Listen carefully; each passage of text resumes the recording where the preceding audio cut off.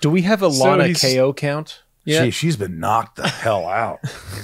I think we talked about this before. I just don't understand why, you know, we see this stunt with Pete, and you're like, oh, his, his his wrist or his arm, and then she gets thrown, knocked out. Oh, her wrist. I guess I guess we got to let it go.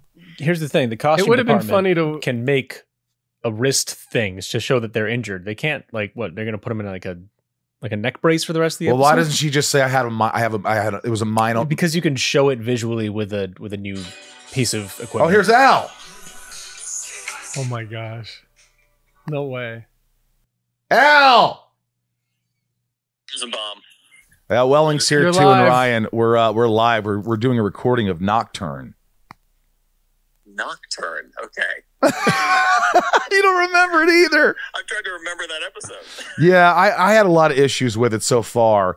Um, it just was the it was the one episode that jumped out at me that a lot of things were just very incredulous. Convenient. you know, but it's about the um, boy. It's about the boy who was stuck in the cellar with the guy from Night oh, Court. the, is it the boy in the cellar who's kind of it's like a Hulk thing? Yes, that what it was? yes. Yeah, yeah, yes. Did you have did you have a lot of problems with that too? I, I just, I, I don't think it was one of our finest hours. Let's put it that way. I, I think, I think what's interesting is that season two. It's like you, you actually we started off strong. I think with really four pretty because because I think like the red was the red kryptonite episode the one episode before that. Yep. Yeah.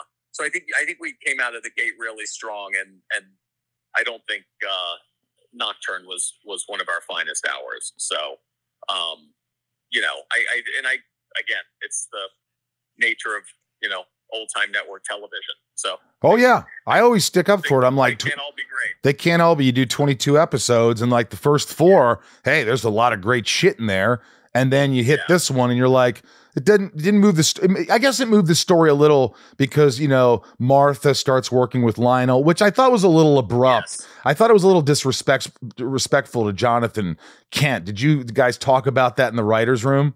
Like, why would she Yeah, do we that? did, but but we wanted to, you know, we kind of really wanted to give Annette her own story, and you know, the idea that she would work for Lionel, we knew would also it would put friction in that relationship, which we thought at the time I think was a was was a good idea because you know the Kents were always sort of this like, you know.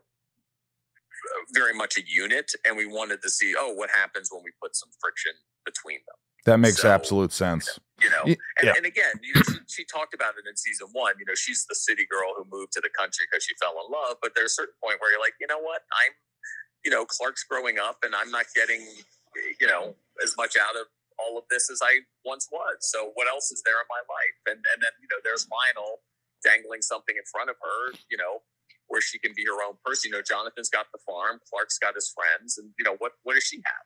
So i, I think, Yeah, I think Michael, leave was- him alone. was, you know that as well. And to really you know and and also you know to put annette and john in scenes together which we wanted to do. Yeah. You know what? That makes perfect sense. And it's funny because I kept saying this, even though I find a lot of problems and I'm the only one that mentions them, I had issues with. I didn't hate the episode. It's not like I hated it. I just found a lot of problems with it. yeah i i'll be honest i don't i don't remember it that well as you can tell That's totally cool. Well, listen, we want to do this thing. It's called Random Call with Al. I just call. If you answer, you answer. And if you don't, you don't. That's totally fine Yeah.